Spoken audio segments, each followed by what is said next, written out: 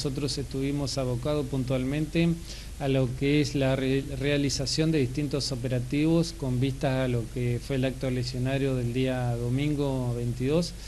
En ese sentido podemos decir de que durante la jornada de este día se llevó a cabo con total normalidad desde el inicio a 8 de la mañana hasta pasadas las 18 horas, porque nosotros continuamos siempre hasta que retiren todas las urnas de los distintos establecimientos educativos. Luego el paso siguiente es que la llevan al correo argentino y a posteriori pasa un camión del ejército argentino quien la retira en forma definitiva y la lleva a lo que es el, correo central en la ciudad de Paraná. Así que todo el lapso que duró el, operativo y del cual nosotros intervenimos puntualmente en la parte exterior de los establecimientos,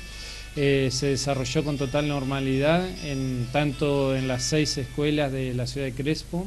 como así también en la escuela que se encuentra en Aldea San Rafael.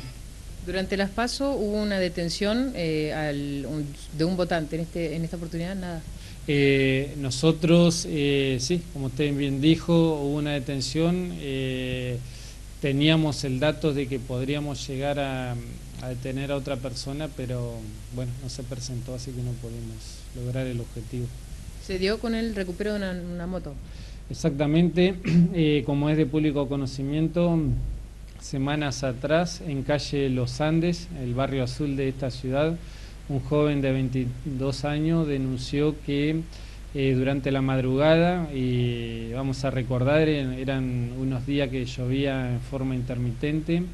es que personas desconocidas le habían sustraído su motocicleta de color gris. Así que ante estas circunstancias es que personal de investigaciones de esta comisaría realizó una intensa tarea investigativa, la cual dio sus frutos y durante el fin de semana nosotros nos comunicamos con el juez de garantía, el doctor Franchi, quien en base a los datos recabados eh, nos eh, autorizó este allanamiento en una vivienda del barrio Azul a, pocos, a pocas cuadras ¿no? de donde se había realizado mm, este hecho delictivo. Ahí nos encontramos con la sorpresa de que en, esa casa y en el fondo un menor de edad, de 16 años, estamos hablando, eh, tenía un mini taller en el cual era evidente, en el cual, perdón, es evidente de que eh, ahí realizan distintos desguaces, creemos de, otras motocicletas que también han sido sustraídas. Así que todo esto forma parte de la tarea investigativas. Eh, nosotros nos comunicamos con el fiscal, lo anoticiamos de esta cuestión. Y puntualmente en el lugar sí se logró secuestrar esta, una motocicleta, la cual ya estaba pintada de color negro, la habían desguazado, la habían retirado eh, lo que es el caño de escape, el volante, el velocímetro también el guardabarro trasero y otras partes, como así también le habían limado tanto el cuadro como el motor, eh, sin lograr colocarle un nuevo cuadro de motor para así poder evadir los distintos operativos policiales que nosotros desarrollamos en esta ciudad. Y también eh, mientras se estaba desarrollando el allanamiento es que entre distintos lugares eh, en desuso eh, pudimos detectar la chapa patente de, esta motocicleta. Eh, si bien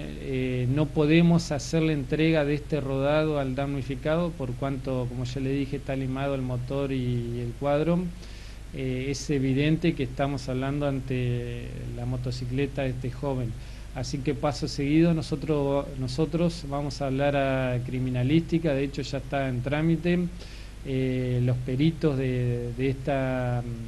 de esta dependencia policial, quienes se harán presente para realizar un revenido químico y ahí salta el verdadero cuadro y motor y de ser como nosotros suponemos que es, ahí sí le vamos a poder hacer entrega de este rodado.